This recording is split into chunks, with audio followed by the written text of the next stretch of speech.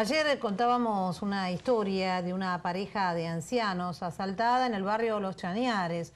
Lamentablemente tenemos que decir un asalto más de los muchos que ocurren en estos últimos días, pero el relato de Chochi, la mujer de esta pareja, es realmente conmovedor y demuestra lo que sufre cada persona que es víctima de estos delitos.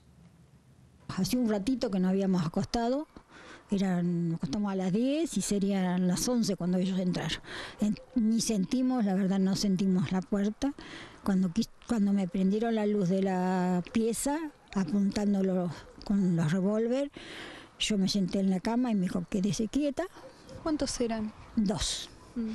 Quédese quieta, no le va a pasar nada, tenemos la plata. No tengo plata. Y sí, deme plata, que usted tiene plata, tiene plata. No tengo plata, le dijo. ¿Y cómo viví? Vivo porque mi hijo me mantiene.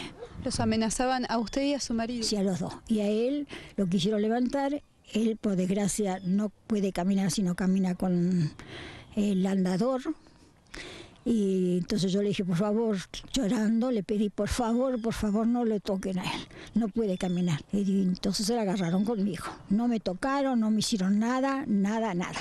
Lo único que me amenazaba continuamente con el revólver. Y empezaron a sacar la ropa del ropero de mi pieza, después tiraron la, tengo otra pieza, me sacaron todo, de todo, todo, todo, remedios, todo, todo, todo, todo tirado por todos lados. Y bueno, cuando vieron que no podía más, me llevaron a la cocina a buscar. Entonces en eso se cae un cuadro y yo atrás del cuadro justo tenía 500 pesos en un monedero. Bueno, llévatelos y andate, le dije. Y agarraron, y bueno, y, cuídate, ¿eh? dijo. Me agarraron y se fueron. ¿Cómo se siente hoy? Con mucha angustia, porque yo tengo 81 años y nunca me pasó esto y viví toda la vida en los barrios, toda mi vida fui a los barrios y todo el mundo nos quiere y nos quieren ahora mismo acá, nos, adoran acá. Yo hace 10 años que estoy acá. Yo todo esto lo hice yo. Lucharé como estoy luchando hasta ahora. Cuando Dios diga basta, basta.